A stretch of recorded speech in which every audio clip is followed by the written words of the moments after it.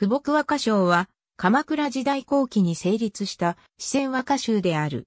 選者は、地方武士の藤原長清。万葉集以来の和歌のうち、直線和歌集に再録されなかったものを収集したもので、再録した和歌は17,387種。歌人数は約970人という巨編である。全36巻からなり、これを主題別に591カテゴリーに分類してある。原点となる和歌集が、すでに散逸するなどして現存しない和歌を多く含んでおり、国文学研究の上で重要な資料に位置づけられている。戦者の藤原長清は、東都海国灰原の勝又上場主で、勝又長清とも言う。生没年は不詳である。経に上って、歌人、霊勢為助に指示して、和歌を収め、富木和歌賞を編纂するに至ったという。長清は実習に敬しており、一辺の弟子、総保川に学んだ。延教三年に他を訪問して歌合わせを開いたことが知られていて、富木和歌賞はその頃に完成したと推定されている。地方豪族の出自でありながら、和歌集を編纂したというのは、類まれなものとされる。富木和歌賞は再録された和歌の数が膨大で、なおかつ課題別になっていて、一部は歌枕のいろは順に掲載されている。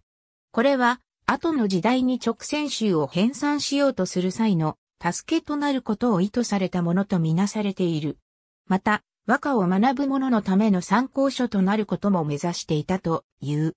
古代の写本の中には、この道に志やらん人のために編纂したとの記述もある。この和歌集が作られた当時は、京極ため影の主導で、直線和歌集である、玉葉和歌集を編纂している時期だった。藤原長清の詩、霊勢為助は、玉葉和歌集の戦者に加わろうと名乗り出たが、叶わなかった。藤原長清が、富木和歌賞を編纂した同期には、こうした事情も背景にあったものと推測されている。藤原長清はこの和歌集の題名を決めようとしていた頃、夢に大江正房が出てきて、不相集にせよと告げられたという。これを、霊勢為助に測ったところ、不相は、日本国の微笑であり、いささか僭越であるとして、タスクの字から、夫を、僧の字から、気を取り、不木集という名にすべしと言って決まったものだという。富木和歌唱は、万葉集を含め、様々な和歌集や歌合わせで読まれた和歌のうち、古今和歌集から、新五線和歌集までの直線和歌集に掲載されたことがない和歌を収集したものである。再録された歌人はおよそ970人、歌は17,387種に及ぶ。歌人は老若男女や身分の生族を問わず収集されているが、和歌をめぐって京極派の京極ため金と対立していた二条派の歌人の作品は少ない。これらの和歌は主題別に591に分類されている。基本的には式とそれ以外の雑に大別され、各18巻、計36巻からなる。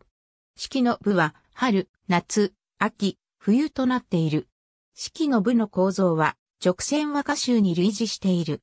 雑の部は19巻から36巻あり、天正、地二から人林、人事まで10種類に分類されている。この中には動植物を読んだ珍しいタイプの和歌も多く再録されている。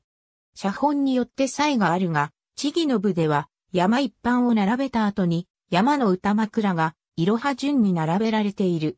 人事の部には恋などがある。霊勢為助は玉葉和歌集に名を連ねることはできなかったが、富木和歌賞は玉葉和歌集の参考にされたという。また、広大の和歌集編纂や科学の参考書となった。ありがとうございます。